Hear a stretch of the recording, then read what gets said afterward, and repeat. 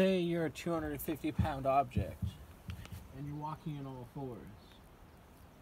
And you go up to somebody and you grab the pant leg and it rips on. So you're like,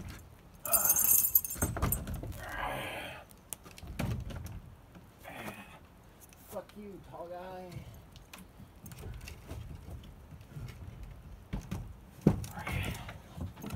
Fuck off, you tall motherfucker.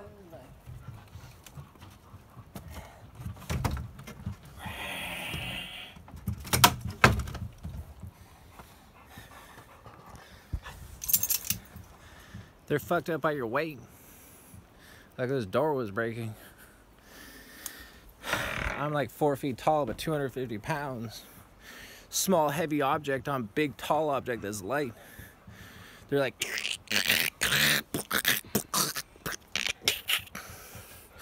Down to my size. Ginger can do that too. So can Jude.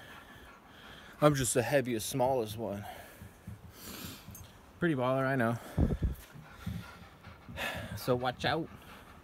Don't let me climb up on you.